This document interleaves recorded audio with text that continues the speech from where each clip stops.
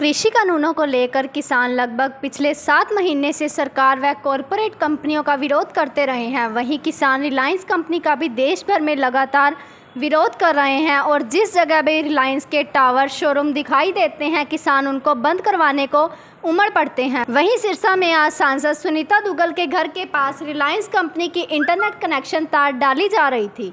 जैसे ही आसपास के किसानों को पता चला तो किसान चल रहे कार्य को बंद करवाने के लिए सांसद के घर के पास पहुँच गए और नारेबाजी मुर्दाबाद के नारों के साथ चल रहे कार्य को रुकवाया। और उनको चेतावनी दी कि अगर फिर से कार्य शुरू किया गया तो इसका खामियाजा कंपनी और प्रशासन को भुगतना पड़ सकता है। नहीं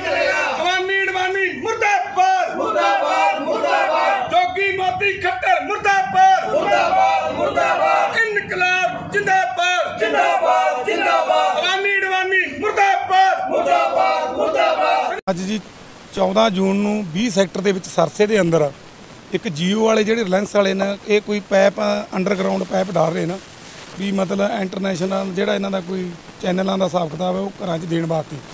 ਤੇ ਅੱਜ ਜਿਹੜੇ ਸਰਸੇ ਸਾਡੇ ਸ਼ਹੀਦ ਭਗਤ ਸਿੰਘ ਸਟੇਡੀਅਮ ਦੇ ਵਿੱਚ ਪੱਕੇ ਮੋਰਚੇ ਤੇ ਸਾਡੇ ਕਿਸਾਨ 8 ਮਹੀਨੇ 8.5 ਮਹੀਨਿਆਂ ਦੇ ਕਰੀਬ ਬੈਠੇ ਨੂੰ ਹੋ ਗਏ।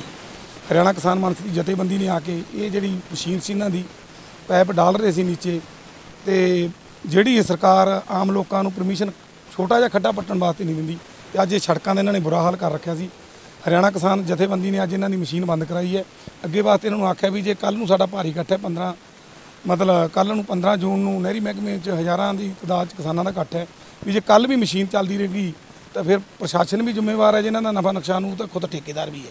ਤੇ ਅੱਜ ਇਹਨਾਂ ਨੇ ਸਾਡੇ ਸਾਹਮਣੇ ਕਿਰਾਂ ਪੈਪ ਬੰਦ ਕਰਤੀ ਹੈ, ਕਹਿੰਦੇ ਅੱਗੇ ਵਾਸਤੇ ਨਹੀਂ ਚੱਲੂਗੀ, ਤੇ ਪੈਪ ਅਸੀਂ ਚੱਲਣ ਵੀ ਨਹੀਂ ਦੇਵਾਂਗੇ, ਜਿੰਨਾ ਚਿਰ ਰਿਲਾਇੰਸ ਦਾ ਕੋਈ ਵੀ ਪ੍ਰੋਗਰਾਮ ਹੈ, ਰਿਲਾਇੰਸ ਦਾ, ਅਸੀਂ ਹੋਣ ਨਹੀਂ ਦੇਵਾਂਗੇ।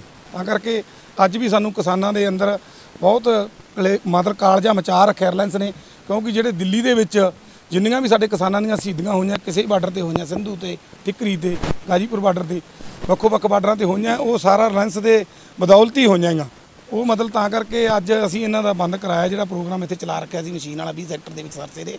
ਤੇ ਅੱਗੇ ਵਾਸਤੇ ਵੀ ਅਸੀਂ ਰਿਲਾਇੰਸ ਦਾ ਕਿਤੇ ਵੀ ਪਿੰਡ 'ਚ ਜਾਂ ਸ਼ਹਿਰ 'ਚ ਕੰਮ ਕਰਨਗੇ ਰਿਲਾਇੰਸ ਦਾ ਨਹੀਂ ਹੋਣ ਦੇਵਾਂਗੇ ਜੀ। ਇਹਨਾਂ ਦਾ ਅਸੀਂ ਡਟ ਕੇ ਵਿਰੋਧ ਕਰਾਂਗੇ।